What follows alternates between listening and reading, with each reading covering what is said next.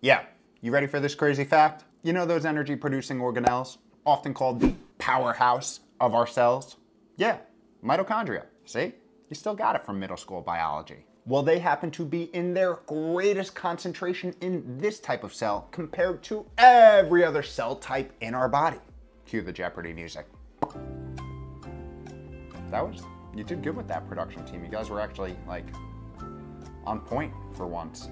This cell type is our retinal cones in our eyes. Yeah, wouldn't have been in my top 100 guesses either. The real question is, what the hell are they doing all crammed up, up in there? I never know what she's doing. Yo, yo, yo, what is up? Welcome back to another week of How to Health. My name is Kevin. I run liftnbalance.com where we take aim at all things health and do it in an odd, weird, interesting, and highly sarcastic manner. Today, we are talking about red light and how it can be used to stave off some of the common problems we humans face as we age, such as, I don't know, impaired vision. So if you have a goal of longevity, or staying as healthy as possible for as long as possible, keeping your eyes and other key parts of your body functional is pretty advantageous for the cause, don't you think? So in the next 12 minutes and 78 seconds, we're gonna break down what exactly red light therapy is, the cellular benefits that it brings to the table, new data highlighting its eye altering effects, and as always, some tips, strategies, interventions that you can potentially implement. We'll also touch on my own personal red light strategy. Turn it up high, so, Reggie. without further ado, red light, green light, one, two, no, no, no, no. Production team thought it would be a good segue. I think they may have had a little too much red light today, or none at all. So what's the hype around red light? If you've been around this channel, you're well aware that we talk about the importance of light quite a bit. And typically it's in the context of getting daylight and avoiding artificial light at night, all in an effort to align our internal body clock and circadian rhythms. And if you need a little refresher on that or want to explore, I'll link some videos in the show notes below. Ideally, we humans want to align with the light coming from that big flaming supernova up there that's been sustaining life for the last billion or so years, give or take. And because that's been the Earth's main form of light and energy forever, we naturally have deep innate biological wiring that is dependent and reactionary to this stimuli of light. Pretty cool, I know. Now, what we are just beginning to understand is the unique impacts and benefits that each respective spectrum and wavelength have on our pretty cool meat suit and five pound mushy membrane, and how to build therapies to harvest those vast benefits in ways we could have never imagined before. Enter red light. This is a specific spectrum of visible light with a wavelength ranging from around 400 nanometers at the violet end and 700 nanometers at the red end. And to date, this has been one of the most researched and tested light therapies there is. For the most part, it's been used as a means to deliver something called, fancy word alert, photobiomodulation, which is essentially a low-level light therapy where combined LED red and near infrared wavelength light are applied on the skin into the cells. And to be honest, I was actually taken back when I realized how many gizmos and gadgets there actually are when it comes to this type of therapy. I mean, there's hats, masks, suits, towers, toilet seats. Wait, toilet seats production team? Is that why the bathroom in the studio has been? So what does this magic light actually do? What we know, or think we know. The data on this pretty well studied topic thus far has provided some interesting insights, uncovering dozens of potential benefits affecting the body head to toe. This long and growing list of associations include skin rejuvenation and wound healing, muscle growth and recovery, hair growth, cognitive improvements, immune health, improved hormone levels and sex drive, reductions and management of pain and inflammation, improvements in mental health and depression, better sleep, and, of course, eye health. Damn, quite the list. But how exactly is all this working? Well, the short answer is in a number of different ways across a vast array of different tissue types. But there may be one key similarity, and that is its effect on our energy producing organelles. You guys remember this one, right? our mitochondria, which we cover in more depth here. And this is what's happening. It's first important to know that our metabolic function and rate of aging are both influenced by our mitochondria, and specifically the health of our mitochondria. Typically, as we stack up those chronological years, our mitochondria membrane potential tend to decline, along with the oh so important energy currency we need to survive, adenosine triphosphate, or ATP.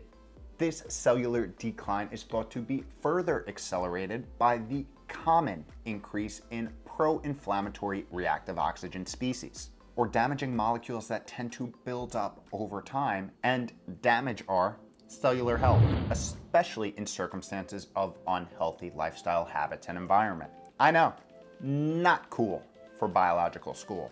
However, therapeutic red light exposure has shown in animals to improve mitochondria function, increasing ATP production and reducing reactive oxygen species, with research suggesting that it suppresses the expression of pro-inflammatory cytokines and provides a anti-inflammatory effect. Essentially, this magical light is thought to work by activating our body's own mitochondrial response to create energy and boost the functioning of our tissues and organs, all while reducing longevity liability numero uno, which you know by now, low dose chronic inflammation or the constant overactivity of our immune system, which basically accelerates anything nefarious happening at the cellular and metabolic level, making it bad for biological business. So knowing that, and adding that our retinal cones have the greatest mitochondrial density in our whole body, and for the average person at some point in midlife,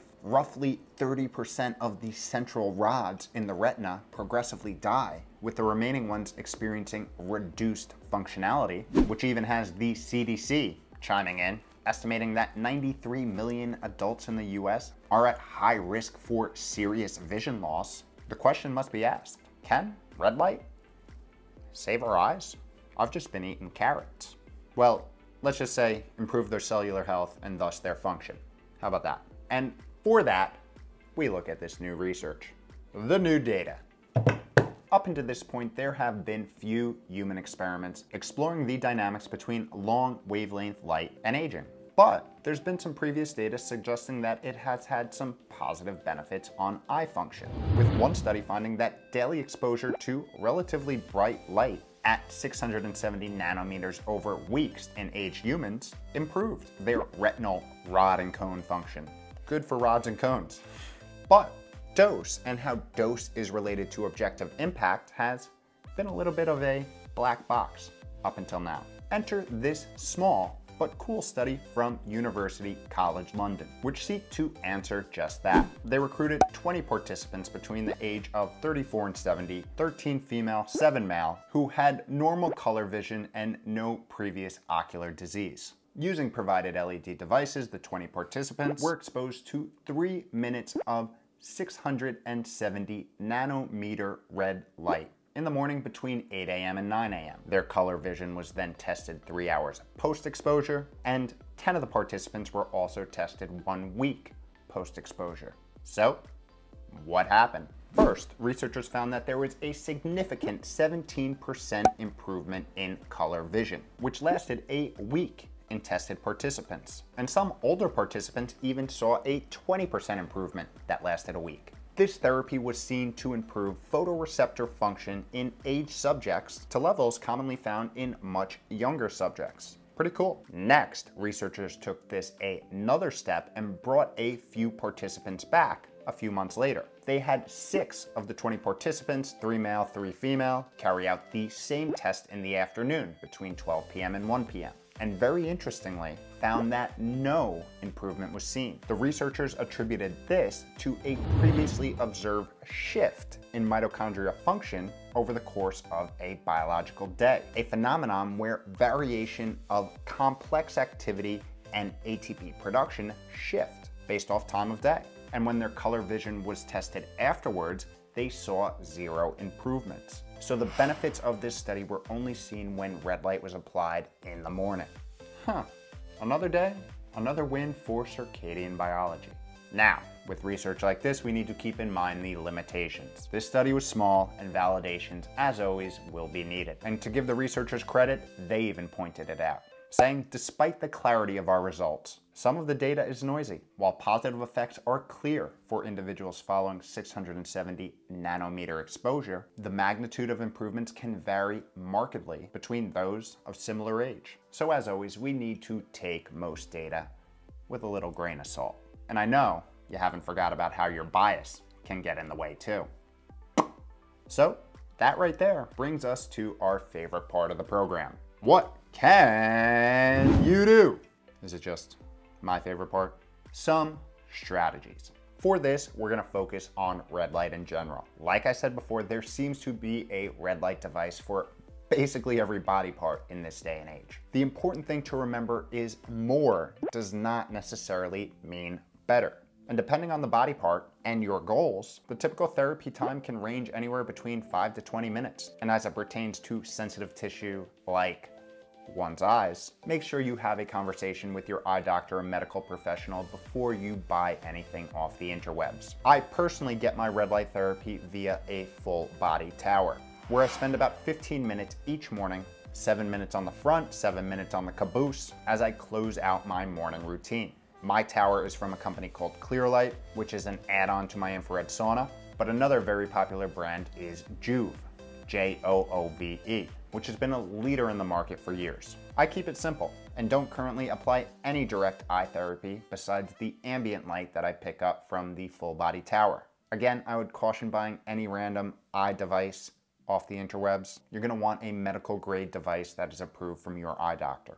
Remember, eyes, just like the rest of your body, but eyes, kind of important. In the end, this is just another tool in the longevity toolbox, but one that certainly isn't necessary to start your health journey.